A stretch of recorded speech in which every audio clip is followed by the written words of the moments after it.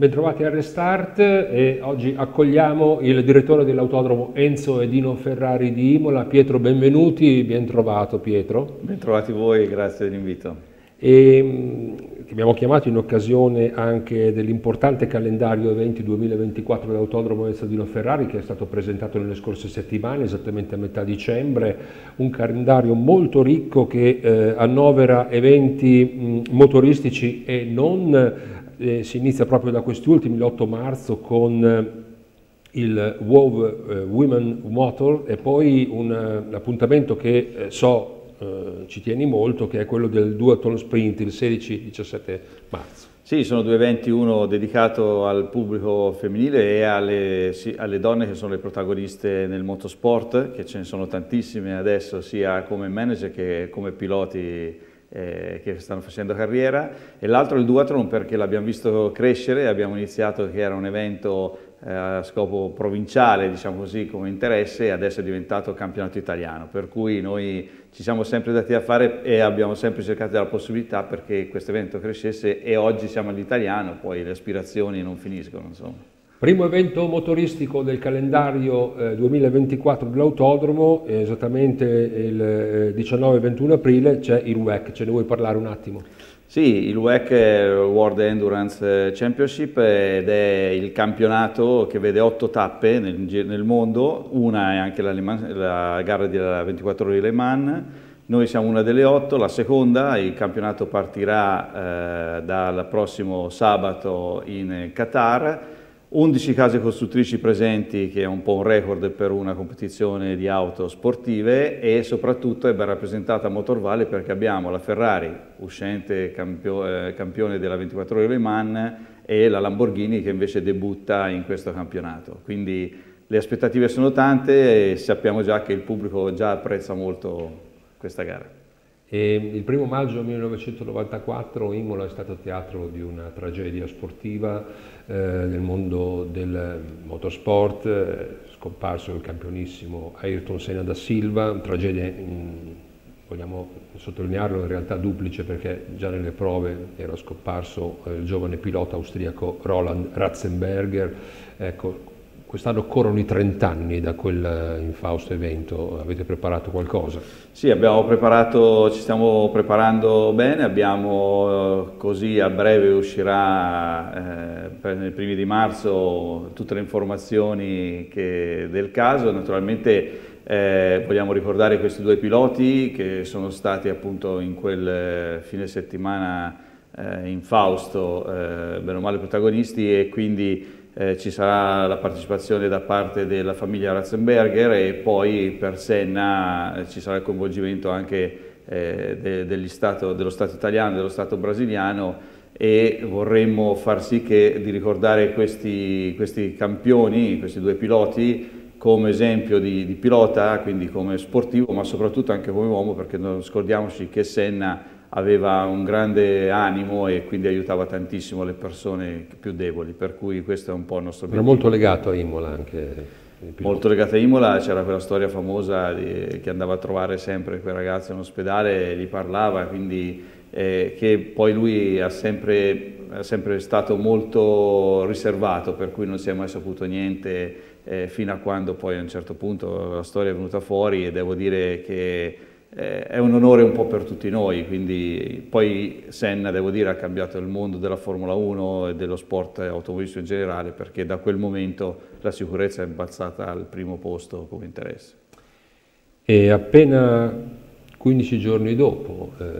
c'è l'evento più importante per l'autodromo di Imola che è eh, la Formula 1 ovviamente, Imola sarà la prima tappa europea del Circus eh, nel terzo fine settimana di maggio ehm, la gara c'è il 19, settimo round del campionato del mondo, avete già iniziato a lavorare? Ah sì sì, abbiamo iniziato già da, da giugno dell'anno scorso. Siamo diciamo, ormai vicini, direi che la maggior parte dell'organizzazione è già arrivata a buon punto. Eh, siamo in trepida attesa che arrivi la gara. Eh, Contiamo molto nel vedere cosa farà la Ferrari dall'inizio del campionato perché per noi la Ferrari è importante, un po' per tutti, però per noi è a maggior ragione visto che l'autodromo è Enzo Dino Ferrari e quindi siamo pronti ad ospitare un pubblico da tutto il mondo per far vivere anche le bellezze di Imola e anche apprezzare la cucina emiliana romagnola. Eh, ne parliamo un attimo con una parentesi, poi non ne parliamo più, perché un anno fa tutto il lavoro di preparazione che come avete sentito eh, è già iniziato da tempo per la Formula 1 andò a rotoli per eh, un cataclisma vero e proprio che si è eh, verificato in Romagna. Qui abbiamo le foto del paddock. Eh, ecco, ti rivolgo a te la domanda, ma potrei rivolgere sicuramente a qualsiasi dei tuoi collaboratori. Cosa vuol dire vedere così sfumare all'ultimo momento un lavoro di mesi? Allora, è stata per noi eh, una grande delusione perché quando lavori per un evento che poi te lo senti tuo, quindi hai voglia anche di far vedere che cosa hai fatto, che cosa hai organizzato, eh, sicuramente c'è un grande rammarico, ma la cosa più, che più ci ha colpito sicuramente è siamo consci di aver fatto la cosa fatta bene perché intorno a noi c'era veramente una situazione disastrosa per cui quando abbiamo saputo che c'erano anche già delle vittime penso che sia stata la scelta migliore che dovevamo prendere. Eh, questo anche per non andare a incidere un po' su quelle che erano le forze in campo di polizia, soccorsi, perché avremmo sicuramente creato un qualcosa di non piacevole, insomma, non corretto. Nei mesi che hanno preceduto quella data si parlava di un recupero della tribuna verde della Tosa, un recupero parziale. Ecco, ehm, questo recupero quest'anno si vedrà? Sì, sì, sì, è già, è già visibile, era già una prima parte era già fruibile l'anno scorso, quindi quest'anno ci sarà questa seconda parte e sono stati fatti dei lavori per far sì che noi stiamo cercando di accontentare il più possibile il pubblico, no? perché la Formula 1 è molto, molto cara nel, nel, nel, costo dei biglietti, quell'area lì è un'area invece accessibile al pubblico eh, che quindi vuol godersi come vecchi tempi un po' dal prato la gara con l'emozione di, di tifare i loro beniamini e quindi quella sarà l'area proprio dedicata ai tifosi veri. Mi soffermo un attimo sulla Formula 1 ancora perché siccome tu stato, hai avuto un'importante esperienza anche all'autodromo di Monza, no? ecco, ehm, eh, questa esperienza, cosa, cosa, ti sei portato, cosa sei riportato a Imola di questa esperienza? Ma eh, allora, ogni circuito è una storia, una storia a sé. Eh, quello che, che, ti porti dietro sono tutte le varie esperienze che, e soprattutto, devo dire, sono magari quei, quegli errori che hai fatto da una parte che cerchi di non ripetere dall'altra. Eh, Monza sicuramente ha un, un, fascino che in tutti è, è elevatissimo, però devo dire che Imola non è da meno. Quindi, eh, sono due esperienze diverse, due ambienti diversi, io non voglio fare un torto a nessuno, però a Imola si sta molto meglio, c'è una collaborazione molto più, più, vera con le istituzioni e devo dire che forse tutto è più facile, quindi, perché poi senti proprio lo spirito del romagnolo, de, che eh, i motori ce li hanno nel sangue quindi quando c'è da fare un evento tutti partecipano a far sì che l'evento venga fuori in modo dalle quattro ruote alle due ruote però senza motore perché Imola avrà un'altra vetrina mondiale assoluta il 30 eh, giugno con il Tour de France. Voi ospiterete questo passaggio straordinario nella storia delle corse in bici. Assolutamente, io devo dire qui grazie a, alla regione che ha fatto sì che il Tour de France venisse in Emilia Romagna ma soprattutto passasse dal circuito è uno degli eventi sportivi più visto al mondo in, in televisione, per cui sarà una vetrina importantissima per noi. E eh, portare Imola dopo quello che è stato il ciclismo, quindi i mondiali, avere quest'anno il passaggio Tour de France vuol dire un po' consacrare l'autodromo anche in quello che è lo sport, eh, diciamo anche forse più amato da, dagli italiani dalla nostra regione perché tantissimi sono ciclisti e quindi è una vetrina mondiale, ci porterà in giro per il mondo forse quanto la Formula 1. E adesso condensiamo in uh, due tappe in un unico discorso perché sono due tappe, mh, due eventi non strettamente legati al mondo dei motori, a livello competitivo, però sono due eventi di portata internazionale che sono l'Historic Minardi Day che c'è il 24 e il 25 agosto e anche il Crame che c'è invece alla fine dell'estate il 13 e 15 settembre, entrambi hanno una portata internazionale. Sono due eventi che fanno parte ormai della nostra storia, del nostro DNA. Il, il Minardi Day ormai si è consacrato come l'evento di auto storiche fra i più prestigiosi al mondo e la partecipazione di tanti personaggi esteri, proprietari di vetture Formula 1 lo stanno a dimostrare. Eh, contiamo molto di, negli anni prossimi di dare ancora più enfasi, più sviluppo a questo, a questo evento e così come il crame, insomma il crame è diventata ormai è una, una ricorrenza, è come una festività, per cui eh, non possiamo non essere soddisfatti di ospitare il crame e quindi saranno due eventi proprio, poi dedicati proprio al pubblico, ecco, questa è, è una cosa da dire, eh, sono dove ciascuno è protagonista, ecco, il, il, pubblico lì è protagonista in entrambi. Dedicato al pubblico sarà anche Imola Green. Imola Green fa parte di un percorso che abbiamo iniziato da due anni che si rivolge proprio alla sostenibilità e quindi vogliamo, abbiamo iniziato naturalmente da parlare di ciò che era legato al mondo dell'automotive in particolare, però in quest'anno e nei prossimi vogliamo che anche ci siano più informazioni su quello che è la parte post-sostenibile, quindi non solo le auto ma anche ciò che riguarda approvvigionamento di energia, quindi come eh, trarre energia dalla, dalla, natura, come gestire eh, certe situazioni anche a livello di inquinamento, per cui vuole essere proprio un Imola Green, quindi iniziare un percorso sulla sostenibilità. E questo c'è il 21 e il 22 settembre. Poi invece mh,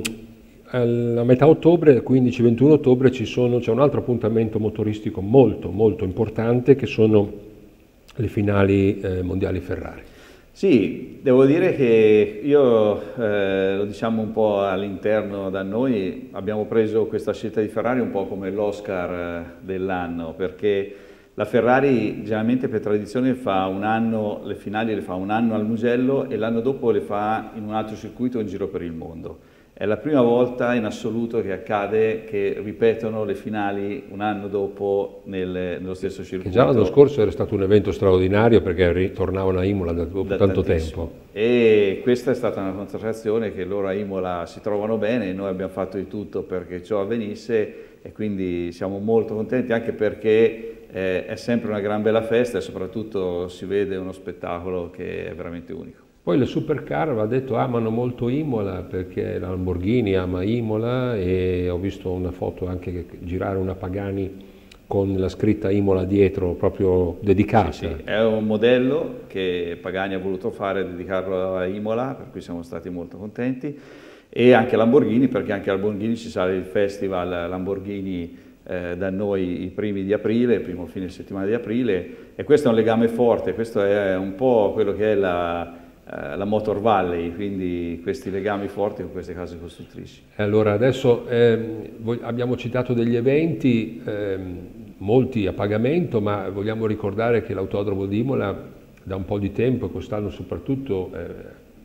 ha parecchi open day no? per quanto riguarda eh, le persone che vogliono eh, fare una passeggiata lungo il tracciato. Questa poi, è, sta diventando una caratteristica nostra e noi ci teniamo molto perché eh, noi abbiamo bisogno di persone che, che, vengano in circuito, abbiamo bisogno di far vivere il circuito. Da qui poi ci, ci aspettiamo sempre che qualcuno ci dia degli spunti nuovi per voler fare altre cose e così via. Eh, siamo molto eh, anche vicini con le scuole perché vogliamo che le scuole siano partecipi della nostra vita. Eh, L'Università di Bologna eh, fa un master da noi, abbiamo in progetto altre attività per lo sviluppo che riguarda un po' la guida autonoma, per cui è, e far vivere alle persone l'autodromo in giornate mi sembra più naturale che un'occasione, cioè prima era un'occasione, era un qualcosa di particolare, oggi per noi questo deve diventare... Molto elitaria anche questa occasione, no? Prima. Quindi, Adesso invece è più aperto l'autodromo. Sì, noi abbiamo, abbiamo, a disposizione una struttura che quando possiamo non vedo perché deve stare chiusa, insomma, quindi aprirla è sempre un piacere. Eh, concluderei con una domanda invece di cronaca, perché vi leggo qui che l'ultimo appuntamento dell'anno eh, 24 è il primo dicembre, autodromo senza barriere, di cui abbiamo anche parlato eh, adesso. Eh, ma a proposito di barriere, c'è una polemica sulle barriere antirumore, qua eh, che succede? Ma mh, mm, niente di, di, particolare, nel senso che c'è uno studio che va avanti da anni per una, per una barriera che fra l'altro è già stata messa in budget, quindi assolutamente la barriera verrà fatta quello che c'è da dire è che quando si spendono dei soldi bisogna spenderli bene e fare le cose fatte bene, perché altrimenti si rischia di fare degli interventi che poi non hanno dei benefici. E quindi oggi c'è anche tantissima tecnologia, c'è anche tantissimo eh, più informazioni, abbiamo tante più informazioni e quindi gli elaborati e le simulazioni che dobbiamo fare dobbiamo farle in maniera molto accurata. Eh, con questo non vuol dire che non verrà fatta, ma verrà fatta, solo che vogliamo far sì che quando facciamo un, intervento, quando si viene fatto un intervento, venga fatto un intervento che sia perlomeno eh, risolutivo. Ecco. Ho cercato di correre, ma il tempo è veramente finito. Eh, vorrei una risposta eh, sintetica al massimo se si può, perché non posso non chiederti se il prossimo anno torneranno le moto eh, e anche i concerti. Il, allora, quest'anno noi sicuramente il CIV è una tappa, abbiamo fatto un accordo a federazione e per i prossimi cinque anni il CIV sarà da noi senza nessun problema. Eh, le moto è un problema di, di, costi da gestire, quindi bisogna stare Superbike, attenti. Sì. La Superbike, stiamo parlando con Dorna per vedere di, di far tornare la Superbike a Imola e questo è un po' il nostro... Per i concerti stessa cosa, stiamo lavorando per far sì che non ci sia più il, un discorso di spot, ma di creare un qualcosa di più continuativo negli anni, per cui sono trattative un po' più complicate, sono situazioni che dobbiamo andare a giocarcela con altri ambienti che sono un po' più predisposti. Intanto gli occhiali da rockstar ce li hai già. Grazie, grazie a eh, Pietro Benvenuti, noi ci rivediamo alla prossima puntata.